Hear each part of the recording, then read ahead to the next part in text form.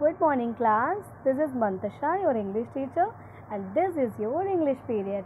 Today we are going to do a new chapter. Now, chapter number one, The Lovely Moon. First of all, we are going to read the chapter and then we are going to do the explanation of the poem Lovely Moon. Okay, Lovely Moons means beta Sundar Chand. Let's read the poem. I wonder why the grass is green and why the wind is never seen. Who taught the birds to build a nest and told the trees to take a rest? Oh, when the moon is not quite round, where can the missing bit be found? Who lights the stars when they blow out and makes the lightning flash about? Who paints the rainbow in the sky and hangs the fluffy clouds so high? Why is it now, do you suppose, that dad won't tell me if he knows? Okay, let's see the explanation of the chapter.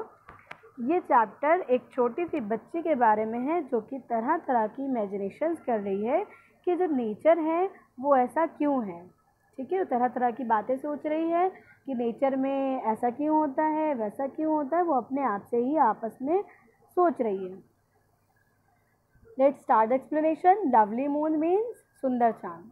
I wonder why the grass is green वो क्या कहती है? मुझे बहुत आश्चर्य मैं बहुत surprise हूँ और सरप्राइज़ होकर के सोचती है कि जो घास होती है वो ग्रीन क्यों है? And why the wind is never seen और वो क्या कहती है? जो हवा है वो कभी दिखाई क्यों नहीं देती है? Who taught the birds to build a nest वो क्या कहती है कि जो बर्ड्स हैं, उनको घोंसला बनाना किसने सिखाया? आपने देखा है ना कि बर्ड्स अपना बहुत अच्छा सा नेस्ट बनाती हैं, बहुत प्यारे प्यारे से तो वो कहती है कि बर्ड्स को, क्योंकि वो हम लोगों को तो चलो मम्मी पापा हर चीज़ सिखाते हैं, लेकिन बर्ड्स को किसने सिखाया है?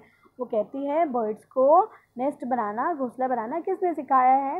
And told the trees to take courage और पेड़ों को खड़े रहने के लिए किसने कहा है? यदि वो आराम करते हैं ना तो आराम करने के लिए पेड़ों को किसने कहा है? ओ when the moon is not quite round आप देख रहे हैं ना, यहाँ पर मून है, वो पूरा क्वाइट राउंड यानी पूरा राउंड पूरा गोल नहीं है। नॉर्मली हम क्या जानते हैं कि जो हमारा मून होता है, वो पूरा गोल गोल होता है। तो जब ये बच्ची इस मून को देख रही है तो वो कैसा है? पूरा राउंड नहीं है।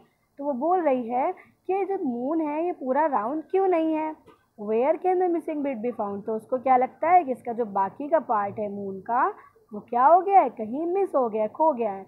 तो वो क्या कहती है कि ये जो खोया हुआ इसका पार्ट है, वो मुझे कहाँ मिलेगा? हु लाइट्स द स्टार्स फिर वो कहती है, जो स्टार्स हैं, उनको किसने जगमगाया है? ठीक है? वेन दे ब्लाउट और ये जब बाहर निकलते हैं तो इन्हें कौन चमकाता है? कौन जगमगाता है? And makes the lightning flash about फिर वो क्या कहती है? जो बिजली चमकती है, ये किसने चमकना बताया है? इसको किसने कहा है चमकने के लिए?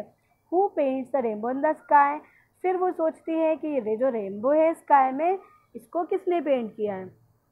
आपने कभी रेनबो देखा है बेटा?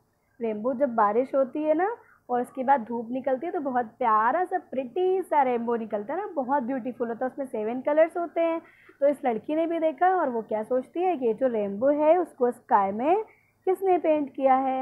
And hangs a fluffy cloud so high और कहती है, जो फ्लफ़ी मीन्स क्या होता है बेटा? कॉटन लाइक जो कॉटन की तरह लगता है। जैसे कि हम लोग बादल देखते हैं ना, ऐसे लगता है कि उसमें रुई भरी हुई है वाइट वाइट बहुत अच्छा ब्यूटीफुल से क्लाउड्स लगते हैं। कभी कभी जब मौसम बहुत अच्छा होता है, शाम के टाइम आप देखते हैं बहुत अच्छे से बादल हैं तो वो बच्ची भी क्या देखती है कि जो फ्लफ़ी क्लाउड्स हैं, वो कहती है, इतने प्यारे से बादलों को जो फ्लफ़ी जैसे दिखते हैं, उसको इतने आसमान में ऊपर किसने लटकाया है?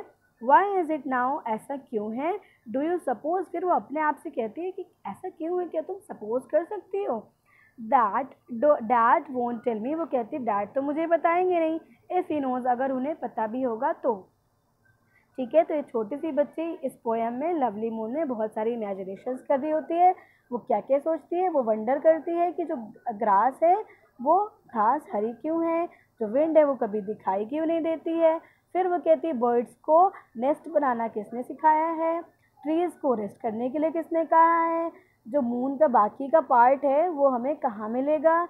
और स्टार्स कौन निकालता है? कहाँ निकलते हैं? कैसे निकलते हैं? बिजली कैसे चमकती है? रेनबो को स्काई में किसने पेंट किया है? और ये जो इतने फ्लफ़ी से क्लाउड्स हैं, इनको इतने ऊपर किसने लटका है? वो ये सारी चीज़ें सोचती है और अपने आप से क्या कहती है? क्या क्या तुम सपोज़ कर सकती हो? और फिर लास्ट में कहती है डैड तो मुझे बताएँगे नहीं, अगर उन्हें पता भी होगा तो। Okay here our chapter ends thank you class have a nice day